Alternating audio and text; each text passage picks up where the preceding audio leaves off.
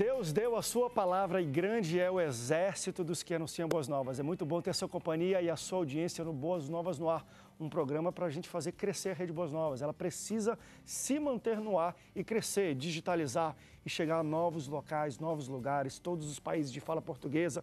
Tantos são os sonhos da Rede Boas Novas, mas só podemos fazer com a sua participação com a sua semente e contribuição. Por isso eu quero ir para a Central de Semeadores Ronaldo. Como é que está a movimentação? Nós temos muitos desafios pela frente. Eu tenho falado para os semeadores. Olha, ah, ah, vamos contribuir. A digitalização, esse novo momento de tecnologia e de mudança é o maior desafio que a Rede Boas Novas enfrentou desde que ela começou há 23 anos atrás. Por isso, Deus precisa levantar centenas de milhares de pessoas para semear na Rede Boas Novas. E elas estão ligando, Ronaldo, estão semeando na Boas Novas? É com você. André, estão sim, estão ligando, estão participando conosco e lembrando que durante, não só durante o programa, né, mas toda semana, 24 horas, o DDD 21 21 12 6300, que é o telefone da nossa central de semeadores, ela é 24 horas, tá certo? Se um atendente não falar com você naquele momento que você liga, vai cair num portal de voz e após o sinal você vai poder escolher ali se você quer é, fazer um pedido de oração, ou pedir alguma informação, dar alguma sugestão, ou tornar-se também um semeador. Então é muito importante você deixar seu nome e seu número de telefone. Vai que a ligação caia ou então alguma informação fique faltando ali que a gente não compreenda.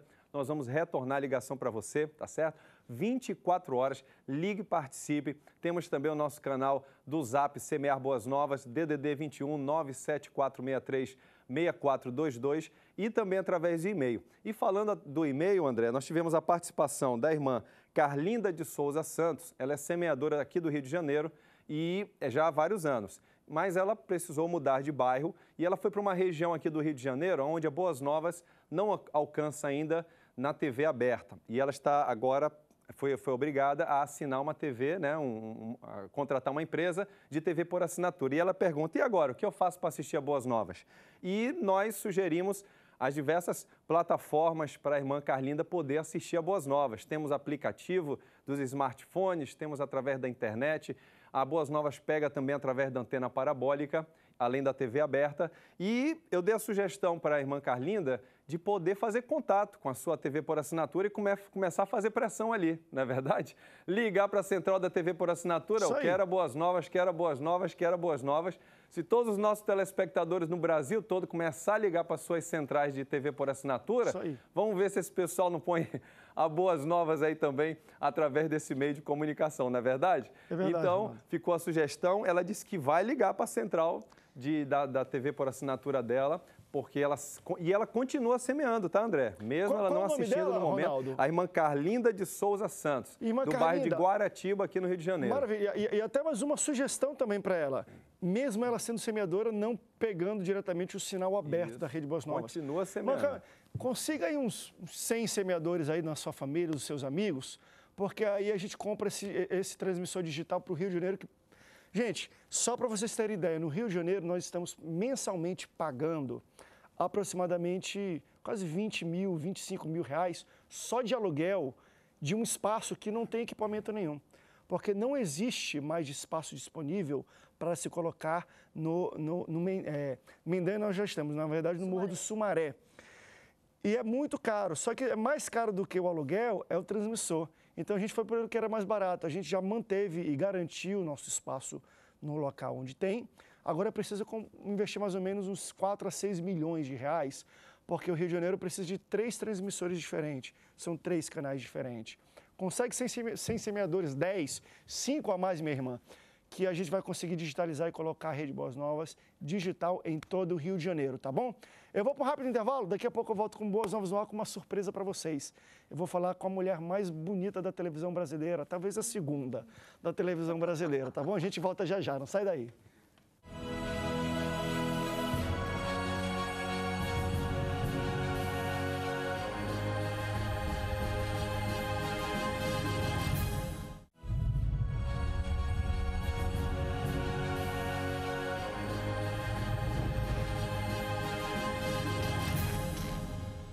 Estamos de volta com Boas Novas no Ar.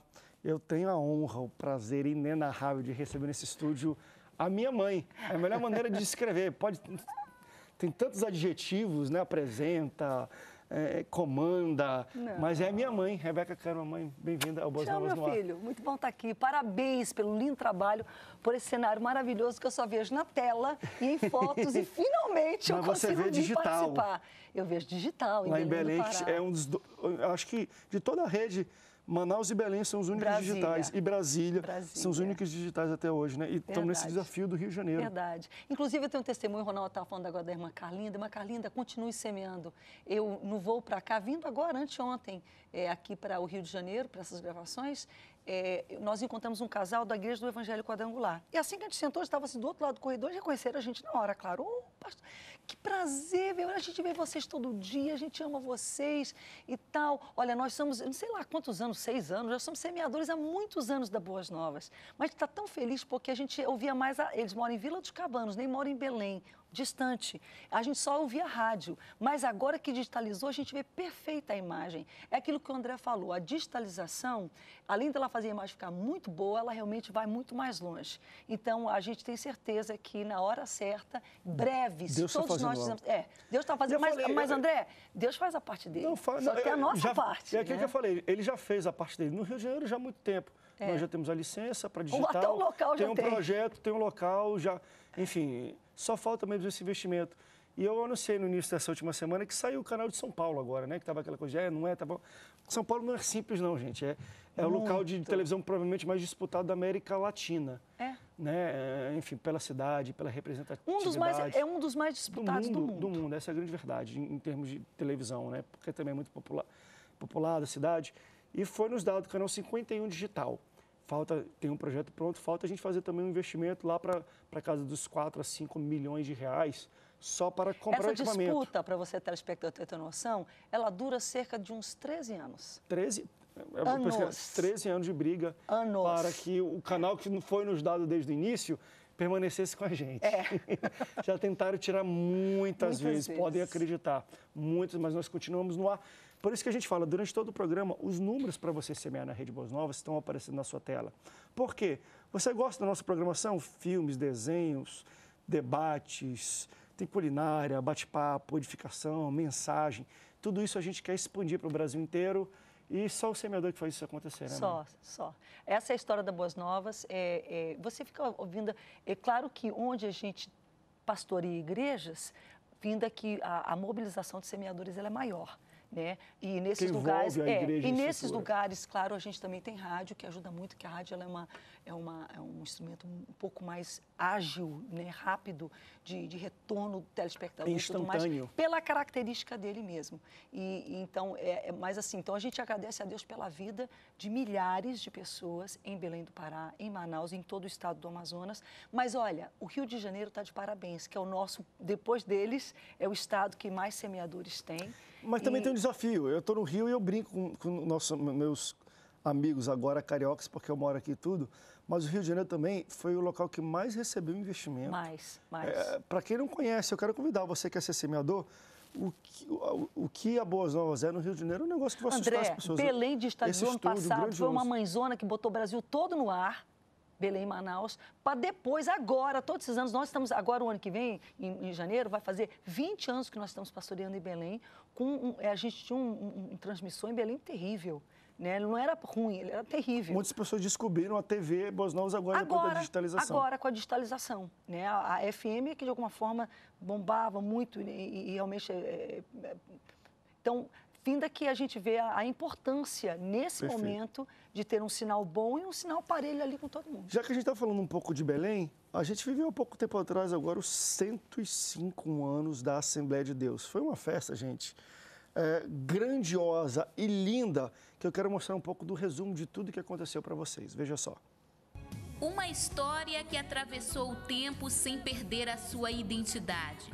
Para honrar a Deus por todas as conquistas, uma linda festa, onde a alegria era sinônimo de gratidão. Sua história começou na cruz, a preço de sangue, sangue de Jesus, e por esse motivo e assim foi a festa de aniversário de 105 anos da Assembleia de Deus em Belém, que Esse ano trouxe como tema Fortalecendo a Família. E como vocês podem observar, o Centenário Centro de Convenções ficou lotado. Mas que chama a lado de fora, uma forte chuva não parava de cair. Pastor Gledes e os dois filhos chegaram molhados. Dona Maria se enrolou em uma toalha.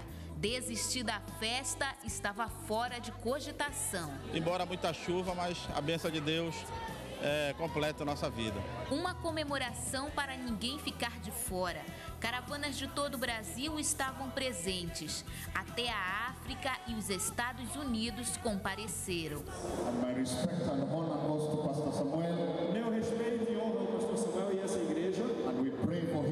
Estamos orando pela igreja mãe. That revival is going to take place. O avivamento ainda vai chegar aqui And it's going to start here in Brazil. e vai começar aqui pelo Brasil. Uma festa que reuniu representantes de todas as convenções da Assembleia de Deus no Brasil.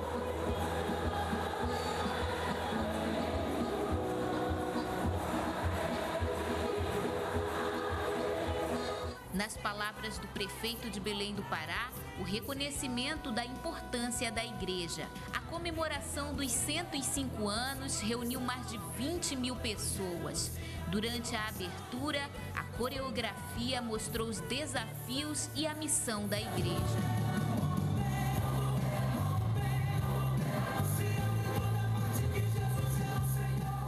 Em cada palavra ministrada, a chama do avivamento. O aniversário contou com a participação de cantores nacionais. Os louvores produzidos especialmente para a festa entraram em sincronia com vídeos e um grande painel humano.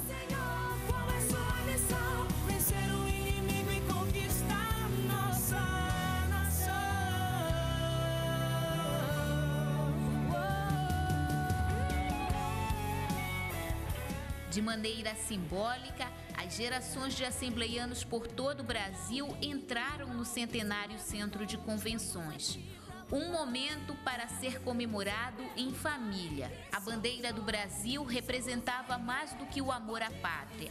Era o compromisso do chamado missionário que há 105 anos não para de crescer. Para essa assembleiana, restou apenas declarar o que estava dentro do seu coração. Estou muito feliz de eu já ter 101 anos e estou aqui, porque a maior felicidade minha é andar, trabalhar para Jesus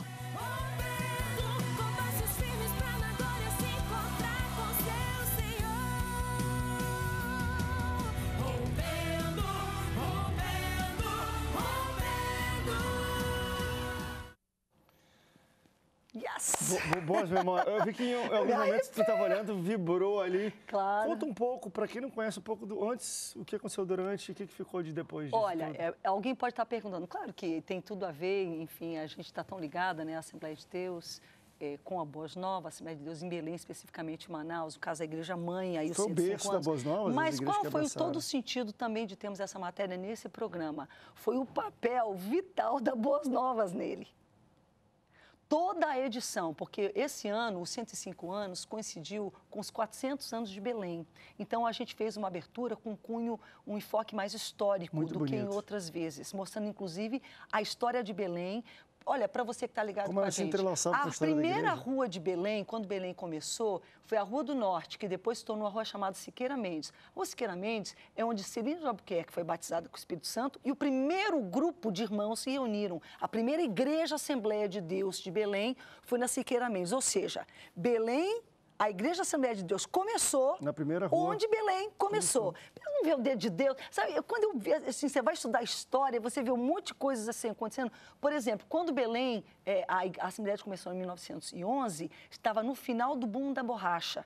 Então, Belém estava, assim, abarrotada por causa da riqueza. Ela era uma cidade, naquele momento, muito próspera, com bonde, com luz elétrica, com, assim, a- a- não era o buraco que a gente imagina em termos, né? Não, era Belle Époque. em termos do Brasil, Belle Époque, Paris na América e tudo mais. Mas o que, que aconteceu? Assim com três, quatro, cinco, seis anos que a Assembleia de Deus tinha estabelecido e já estava se alastrando no interior e muitas pessoas sendo ganhas batizadas com o Espírito Santo, simplesmente a coisa declinou de uma vez. E houve ali uma diáspora. Pessoas voltaram para suas terras porque ficaram sem trabalho. Só que elas já voltaram salvas e batizadas no Espírito Santo. E elas foram então levando a palavra, essa- esse novo evangelho, umas já eram eh, evangélicas, outras não, foram salvas lá. Quem era voltou contando e começou a se fundar trabalho, avisava o pastor Gunavinho, pastor, manda o pastor que o trabalho... já-" E assim a Assembleia de Deus aconteceu. Quer dizer, a gente vê Deus usando a história, ela se entrelaçando. A gente contou isso, mas quem editou tudo isso, quem produziu tudo Quem isso... transmitiu ao vivo também aí é que todo o tá. Brasil, Já pensou você trabalhar inteira. aquele painel que você viu mudando, Jesus salva, Jesus, aquilo que dá um trabalho. E a gente fica feliz de ver ele acontecer. Agora, você ter todo um trabalho, André, para ele ficar contido só para você. E você ter um trabalho que você pode compartilhar com toda uma Assembleia de Deus no Brasil, ou você com o seu evento ter. Porque sabe o que é o problema, André? Todo mundo se empolga nessa hora. Mas eles não têm noção do que custa fazer mídia. Claro. É muito caro, é muito difícil, é muito espinhoso. Então, logo, é tipo aquela a semente que Jesus falou, a cai entre as pedras, daí vem o sol, esquenta, a pessoa logo desiste, vem a prova, ela, entendeu? Mídia é um negócio. Agora, se você tiver fé, se você semear, fizer a sua parte, meu irmão, o resultado é esse. Não fica um evento só para você, ele é compartilhado ao vivo, né? Como foi através da Rede. Boas Novas. Ir para o intervalo, daqui a pouco a gente volta falando um pouco mais dos 105 anos da Rede Boas Novas e da festa linda que realmente aconteceu lá. A gente volta já já, não sai daí.